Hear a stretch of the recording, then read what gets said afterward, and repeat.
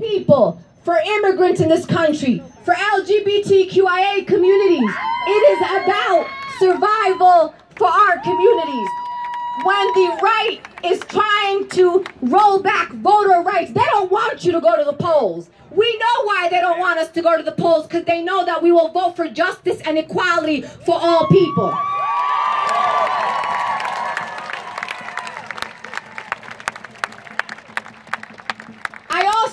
You to go home and make sure that every single human being that you have a relationship with is registered to vote. Stop telling me that voting doesn't work.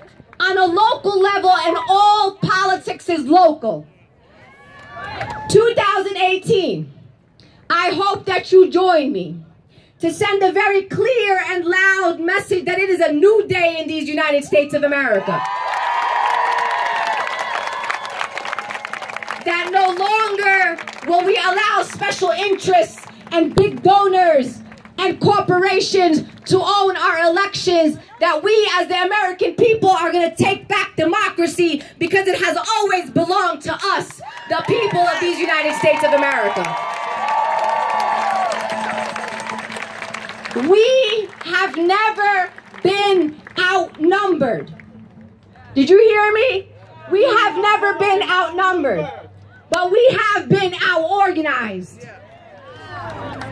So I ask you to flip that. That in 2018, we will out organize the opposition, those who want to divide our communities, those who want to roll back our rights, those who want to mix religion and politics, that we will prevail in 2018 and set ourselves on a path to 2020 and win back that White House. And I ask you to continue to show up. Sometimes when we hear about a rally, we say, oh man, I don't know, I'm tired today. They're not going to miss me at that rally. No one will even know I'm not there. Imagine if 5 million women said that on January 21st and said nobody would miss me if I was there. Imagine if you today said they won't miss me at the individual power in our presence when we show up in the numbers and outnumber the opposition who's only a few streets away.